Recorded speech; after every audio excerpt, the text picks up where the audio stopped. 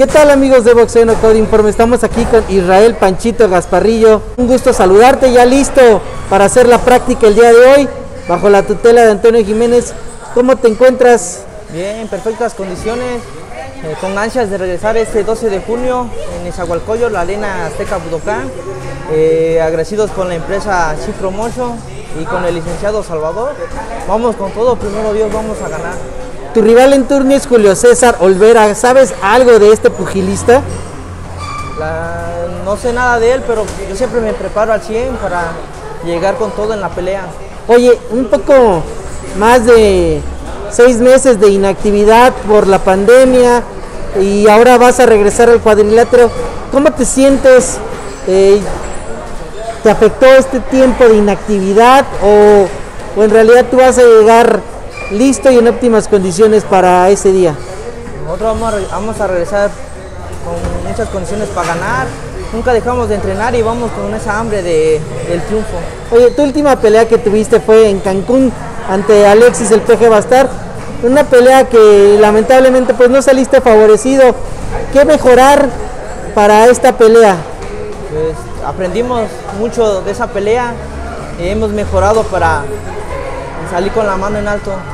¿La pelea te gustaría que se acabara por la vía corta o, o te gustaría llegar a la decisión? ¿Qué es lo que prefieres tú? Eh, prefiero terminar rápido, pero hemos preparado para llegar a los, a los seis rounds, a terminar la pelea. Estamos preparados para eso y más. ¿En qué división vas a ver acción?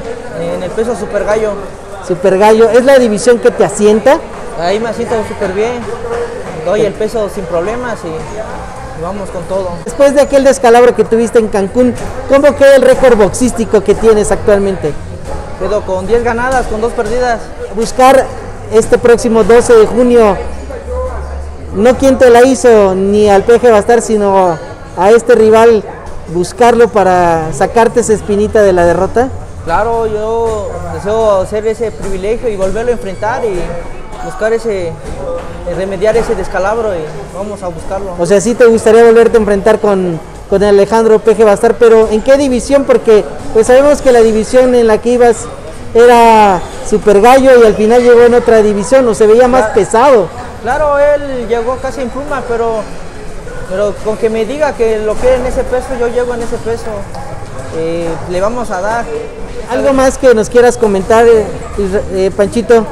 Nada más que darle gracias a esas personas que me ayudan, aquí este peleador de fuego, David Tobar, que me atendieron la mano, este, don Rogelio Ramos, el doctor, este, eh,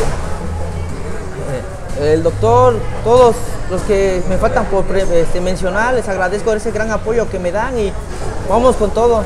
Bueno, solamente me queda agradecerte tus palabras para Boxeo No Cae Informa, Panchito. Muchas gracias de Boxeo de No Cae Informa por esta entrevista y le agradezco todas esas, esas, esas veces que me han permitido hablar y gracias. Y ya que nos encontraste, no nos pierdas. No olvides suscribirte al canal de YouTube Boxeo de Knockout Informa y déjanos todos tus comentarios. Te mando toda la buena vibra y muchos besos. Tu amiga Carla Pulido.